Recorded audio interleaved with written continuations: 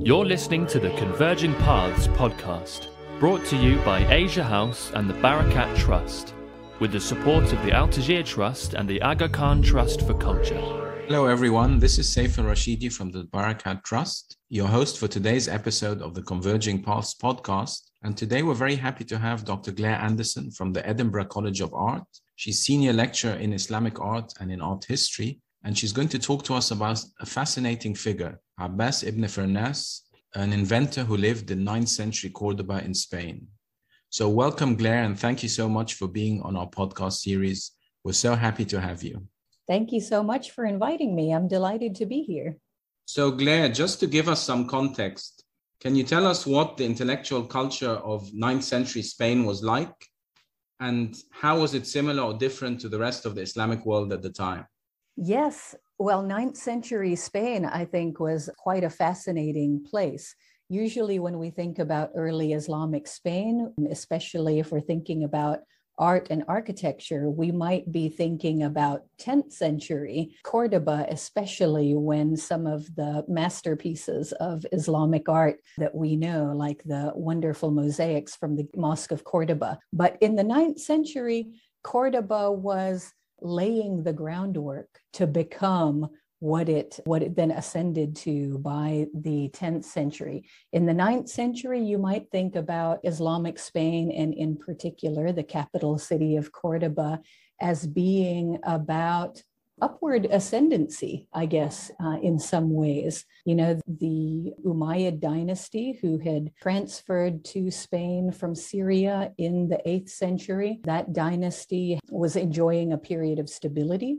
They were building up uh, the city of Cordoba, their capital expanding the Great Mosque of Cordoba, building a series of suburban villas that became centers of intellectual culture in that century.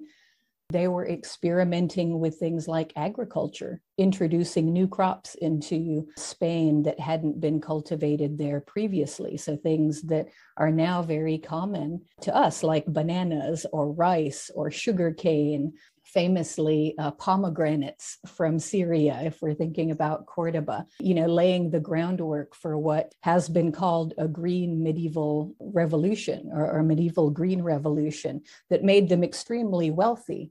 Uh, and with that wealth and stability, they were focusing, uh, actually looking around at what was going on in the rest of the Islamic lands, looking at other great centers of Islamic culture, cities like Damascus, especially, but also their neighbor Kairouan in what is today Tunisia, and really participating in what would what was starting to become an international Islamic court culture. So not only in you know, things like agriculture and, and politics and so forth, but things like uh, music. So if you know the, the famous musician Ziryab from the from Islamic civilization, the ninth century is when Ziryab came to Cordoba from the Abbasid court and introduced fashions in music and hairstyles and food and so forth into the court at Cordoba. So it was in the process of really becoming the city that by the 10th century, scholars uh, of the time most often compared it to the great global cities of the day, cities like Damascus, Baghdad, and Constantinople most often. Thank you. It sounds like a very inspiring place to have lived. Yes, I think it was a it was a very vibrant place to be in the ninth century, I think. Well, turning to this great inventor Abbas ibn Firnas, who you spent many years studying, can you tell us a bit about him? What did he do as a young man? And how did one become an inventor in the ninth century? Yes. Um, well, I I have to say there is there's a little bit of mystery surrounding his background, right? We we know about him from the Arabic, the medieval Arabic texts, who talk about his career once he arrived in Cordoba and established himself in the court. But what I'd like to do is to is to read to you what the greatest historian of medieval Spain, I think it's safe to say, Ibn Hayyan, and his sources, who were the other intellectuals of early Islamic Spain, how they described Ibn Firnas and his background, and then we can uh, maybe talk a little bit about that if you like. So, this is what they tell us about Ibn Firnas and his background. They call him the wise man of Al Andalus. And in the time of the Emir al Hakam, Abbas ibn Firnas, the wise man of Al Andalus, appeared, and he superseded all others in the number of skills and arts. His complete name is Abu al Qasim Abbas ibn Firnas ibn Wardas, he was a client of the Umayyads of Berber lineage, originally from the province of Tacaruna, which I, I think is in Ronda uh, in present day Spain, uh, but having moved to Cordoba. So we get the sense, even from you know just that uh, little bit of information, that this is someone who came from the provinces in a sense, right? But but came to Cordoba and established himself in his career and then became known, and I'll, I'll continue with what the Arabic text says.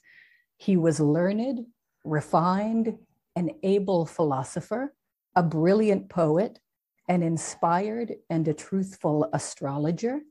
He was sensible and penetrating in his excellent thoughts, full of inventiveness and of the capacity for innovation. So that gives us a little bit of a sense of how early Islamic intellectuals, and in this case, the great historian of early Islamic Spain, Ibn Hayyan, how they remembered him in, in the early medieval period. Just to give you a little bit more of the flavor of this, one of the viziers, so, you know, these are these are quite learned and eminent uh, members of early Islamic court society and intellectual society who were writing about him and remembering him. So this vizier said that Abbas ibn Firnas devised during all of his life subtle inventions and marvelous innovations in more than one art, in jest and in seriousness. So we get a sense that he had a, a sense of humor. He also played the oud and composed beautiful melodies.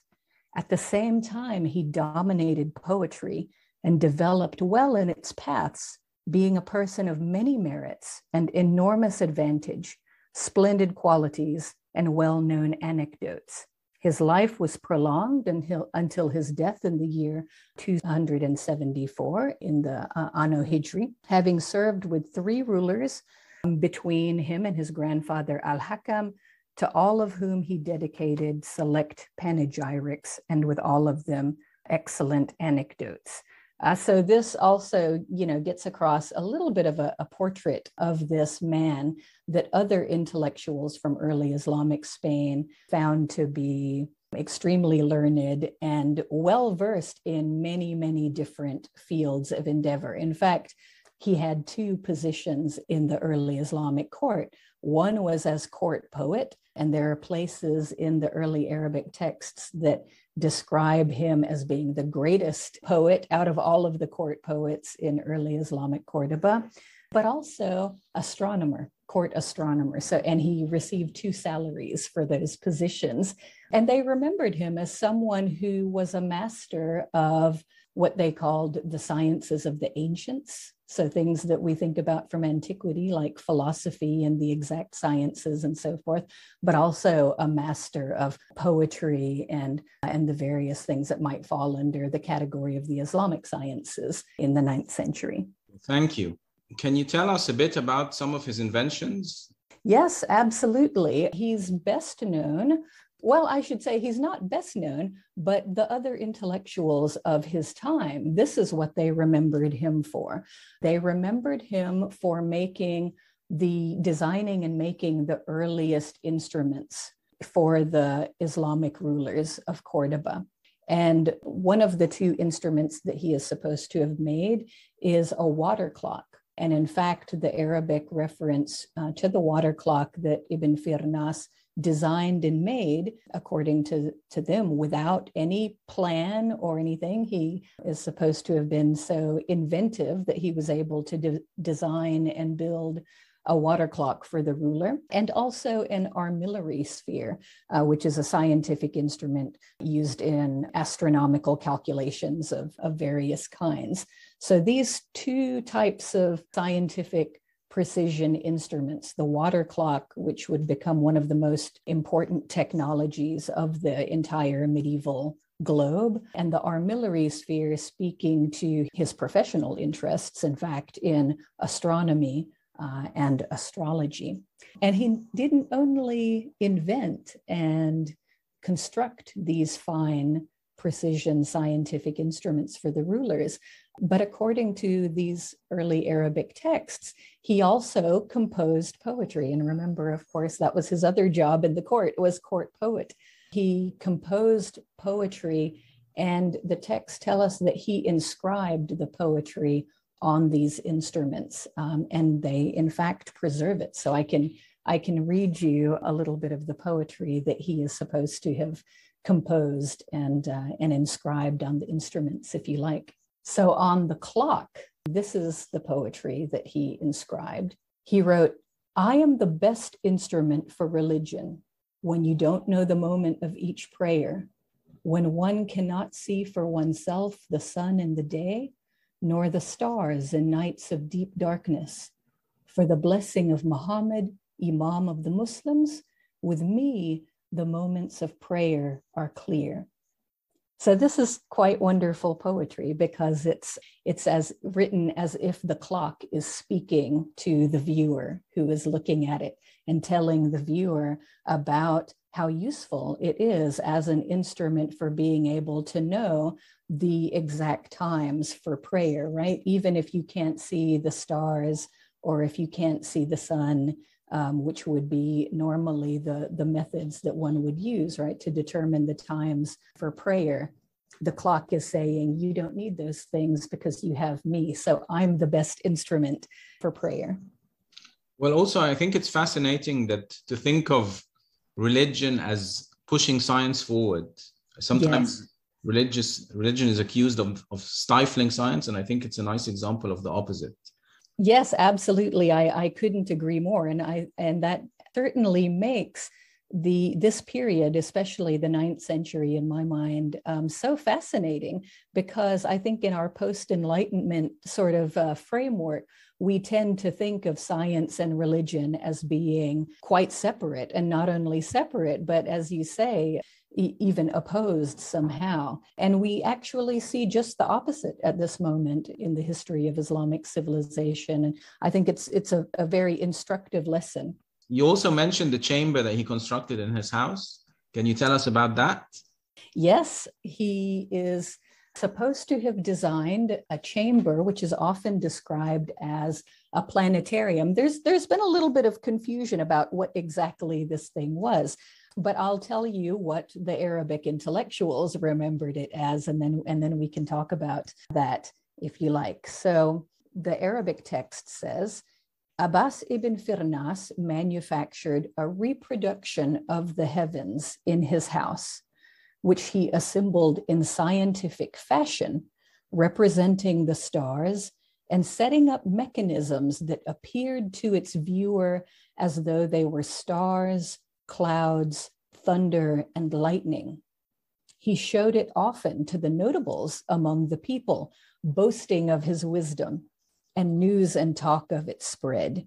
And we can talk about this a bit more, but but even in this very brief text, I mean, we want to know more about this chamber, but even this brief text gives us a sense that it was a, it was an architectural space but an architectural space that was designed to be a space of scientific visualization and also one that didn't just show celestial phenomena like like stars and clouds but that also made people imagine that they could hear and see thunder and lightning. And in fact there's some poetry preserved by a rival poet of Ibn Firnas's at the time that also suggests there was some kinetic aspect to this chamber as well. It didn't just visualize these, you know, scientific celestial phenomena, but it also moved. So it was a, a moving device. It made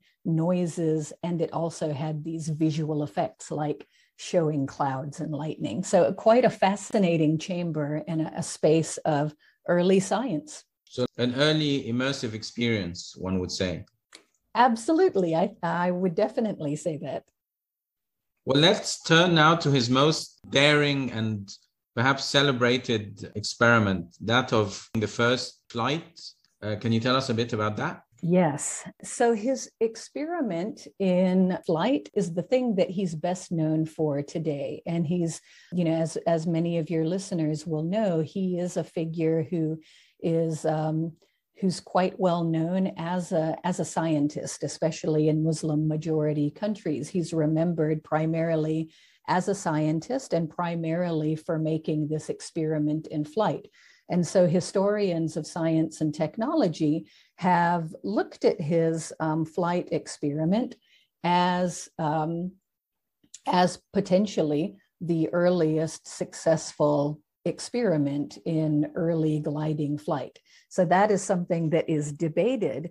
But what I think is really quite fascinating is going back to what our earliest, most substantive account of this flight says about it. So I'll read that to you if you would like to hear what this account of this early aeronautics experiment says.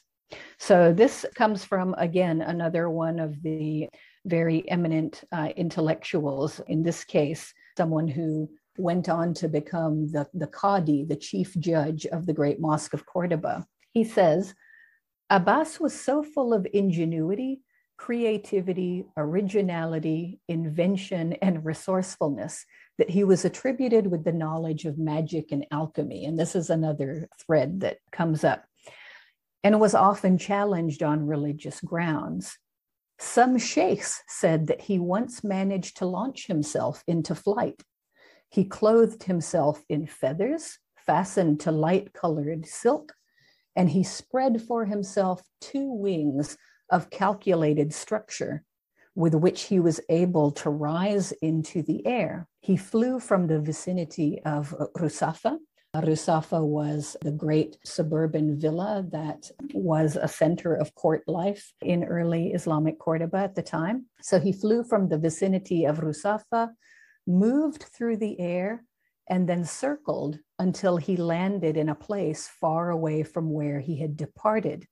But this landing went poorly when he hurt his tailbone. He had not managed the landing very well he did not take into account that a bird, when landing, does so on its tailhead, which he neglected. He was more frightening in this flight than the clamor of the scattered places of Saharan nomads who ruminated at length over what they had witnessed without knowing what it was all about. so, so this is this is what uh, this is a, a, brief text, but it's actually much more detailed and substantive than the accounts that were circulated centuries later. And this account comes from someone who knew Abbas ibn Firnas personally. So, although he wasn't himself an eyewitness to the flight, he was a contemporary of Ibn Firnas's. And what he's relating in this account is, is what he had heard from his informants, who he says, some sheikhs. So, some, some important people in Cordoba who witnessed this aeronautics experiment. And what do you think gave him the idea of trying to fly? I think there are two, probably two factors that may have inspired the idea for his flight. Um, I've already mentioned his, his job as court astronomer and court astrologer. And over the course of his long career, I mentioned that he held his position in court over the uh, reigns of three successive rulers in early Islamic Spain, which meant that he spent quite a lot of time observing the skies over Cordoba. And he probably spent quite a lot of time at Rusafa, this important villa of the rulers of Cordoba that is mentioned in this account, that, that this is where the flight experiment took place.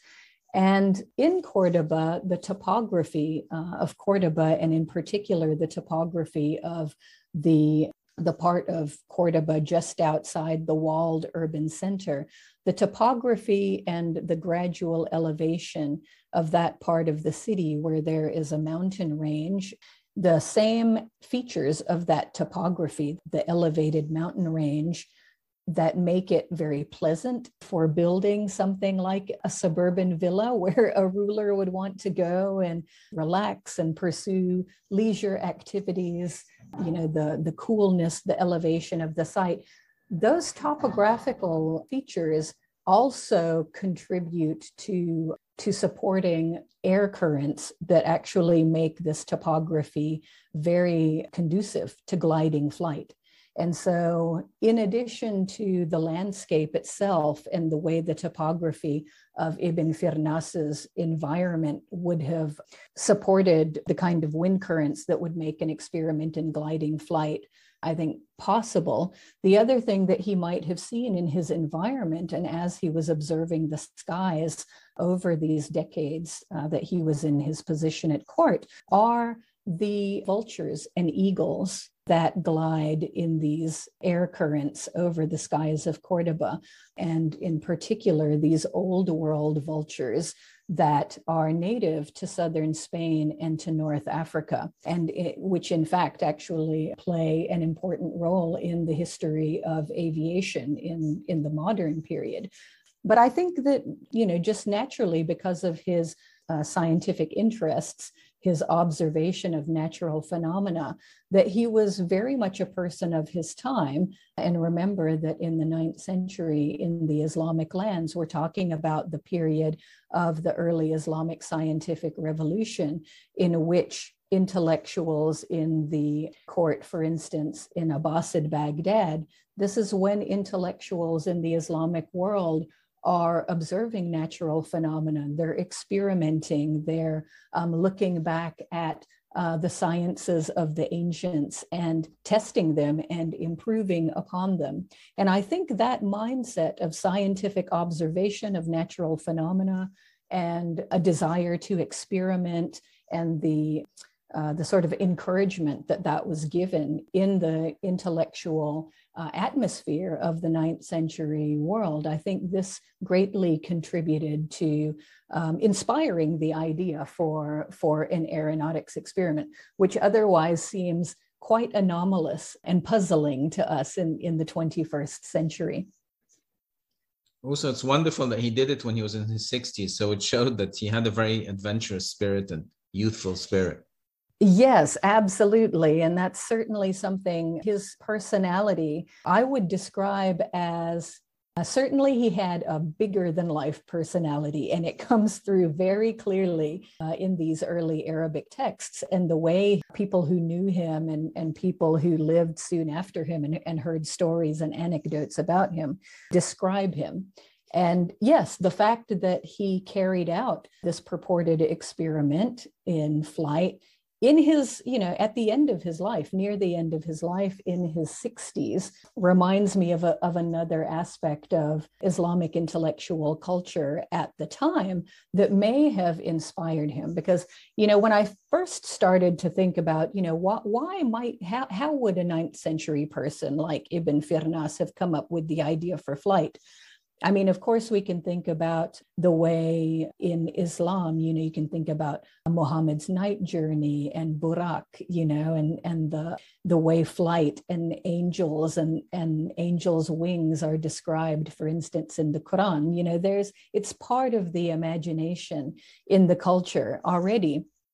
And of course, it's also part of that heritage of antiquity, which Islamic intellectuals at the time were thinking about uh, and specifically, I'm, I'm thinking about the translation movement again in Abbasid Baghdad, where they're thinking about all of those texts from antiquity, both Greek antiquity, but also uh, Persian and Indian antiquity, and translating those texts. So, you know, I wondered if something like the ancient Greek myth of Icarus and Daedalus, the, the famous Greek uh, inventor and craftsman and architect who is supposed to have designed the wings for himself and his son Icarus to fly, if you remember that that ancient Greek myth. If the, you know, if this might have been part of his, um, you know, part of uh, what inspired the idea as well.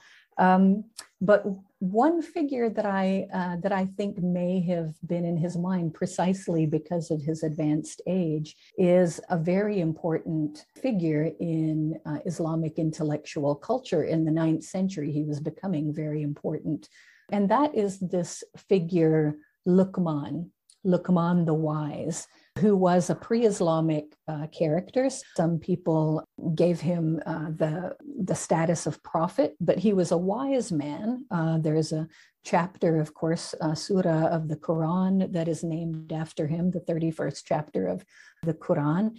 Um, and Luqman was associated with several things that Ibn Firnas was likewise associated with.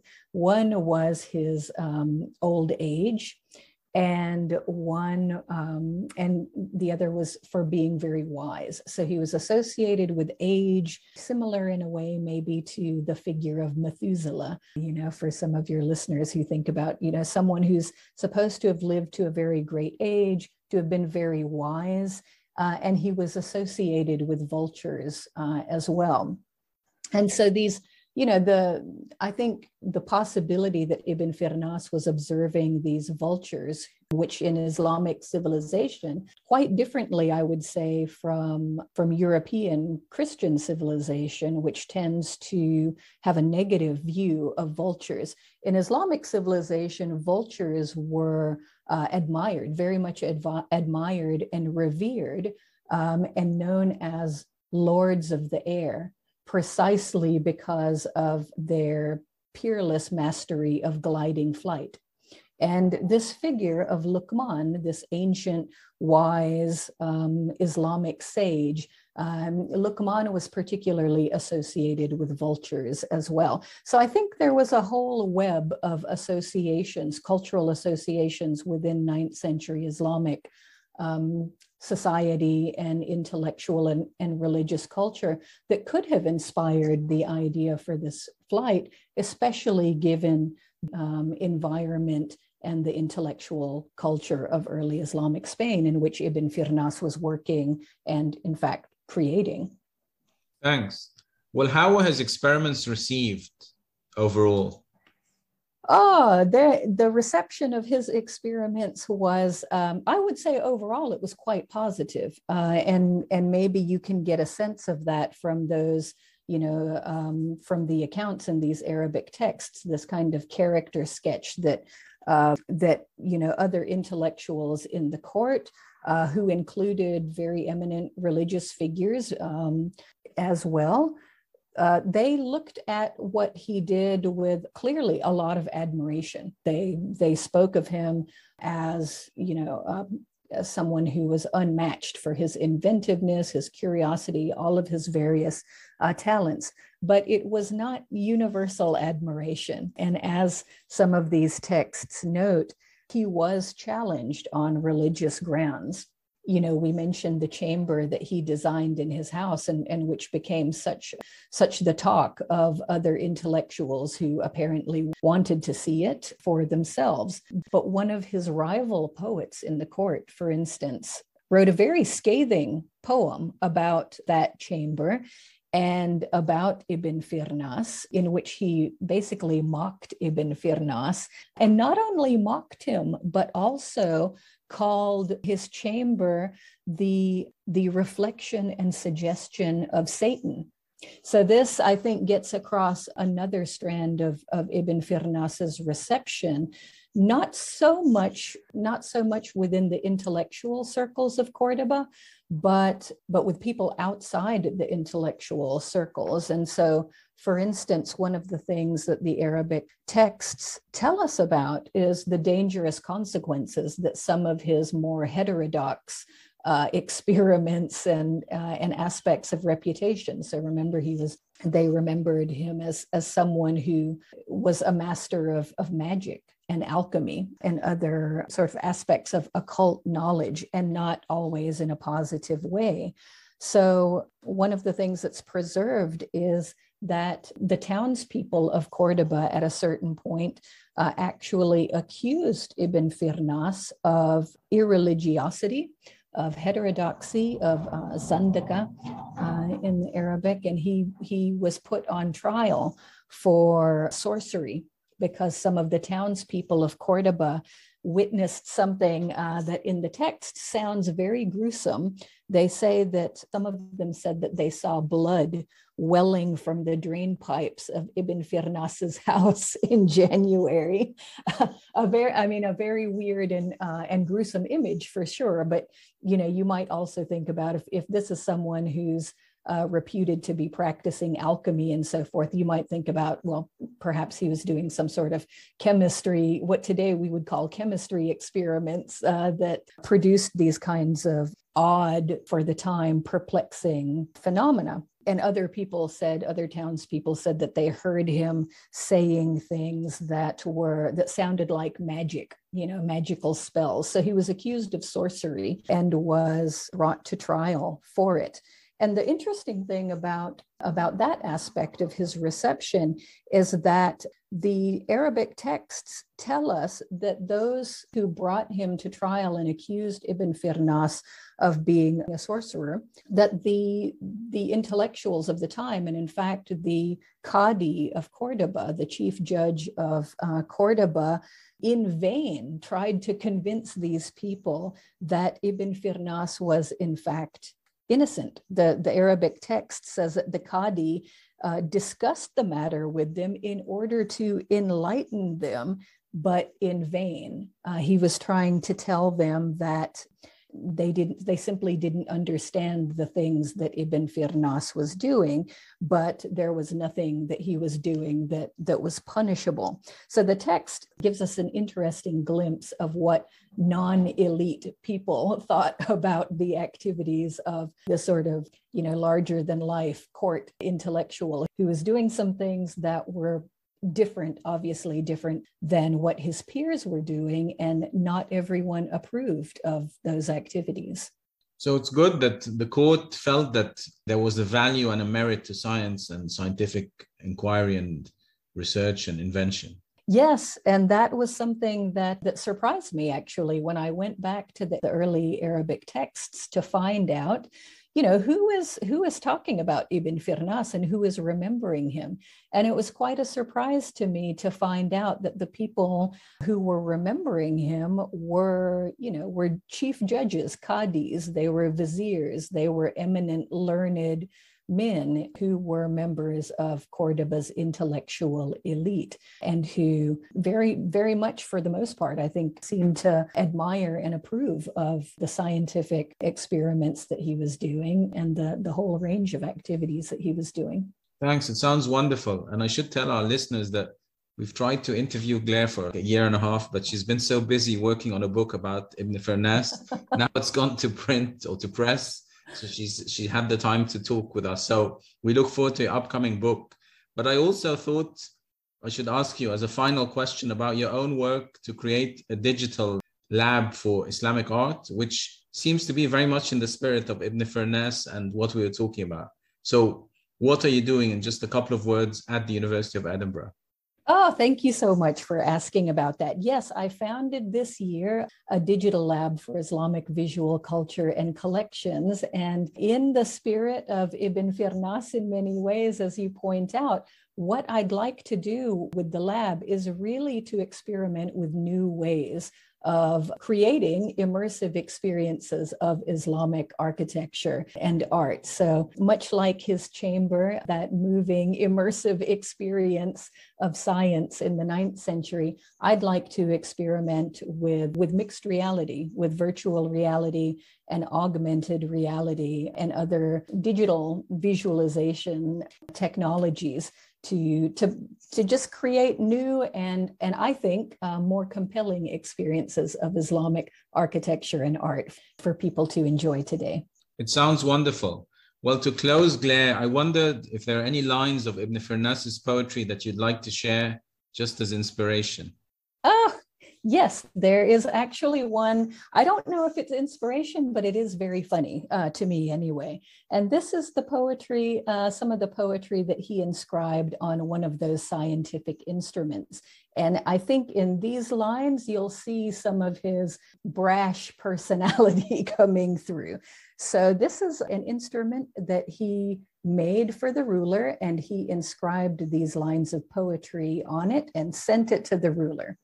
And it says, Complete is the instrument that was commissioned of me, that great philosophers could not achieve save for me. If Ptolemy had been successful in doing so, I wouldn't be occupying myself with, and he goes on to talk about the astronomical tasks that he is obviously having to work through in his role as court astronomer. But, but there he is complaining about Ptolemy the greatest figure in astronomy of the entire late ancient and medieval world, and complaining that if Ptolemy had done his job right, he wouldn't have had to put so much work into his tasks in uh, early Islamic Spain. So maybe his comeuppance was that he had a crash landing when he tried to glide. he might have he might have pushed the envelope too far with his uh, experiment in, in flight. Well, thank you so much, Glaire. It was wonderful and so fascinating. And we look forward to discovering more about Ibn Firnas and about your lab, of course. Thank you. Well, thank you so much for having me. It was a pleasure to, to finally get to uh, speak with you.